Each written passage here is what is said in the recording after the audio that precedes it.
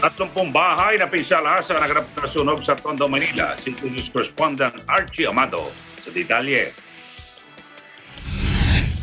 Naglalagablab na apoy ang tumupok sa ilang kabahayan sa 374 Sergeant Pabagos, Tondo, Maynila. Nagsimula ang apoy sa isang three-story na bahay na pagmamay-ari ni Manilin hanggang sa mabilis nang kumalat ang apoy sa iba pang mga katabing kabahayan na gawa rin sa light materials. Makikita rin na hirap ang mga bombero dahil sa nasa pinakalooban ito dahil rin sa lakas ng apoy at malaking usok.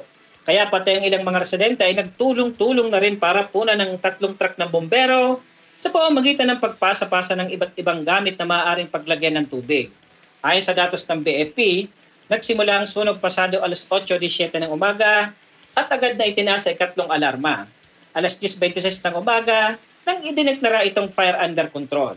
Nasa 30 kabahayan naman ang nadamay sa insidente at ang nasabing three-story na bahay umano na pinagbulan ng sunog ay pagmamay-ari rin ng dating alkalde ng lungsod na si Alfredo Lim. Inaalam pa rin ng BFP ang pinagbulan ng nasabing sunog at ang kabuoang halaga nito. Para sa Ege News, Archie Amado, we live in interesting times.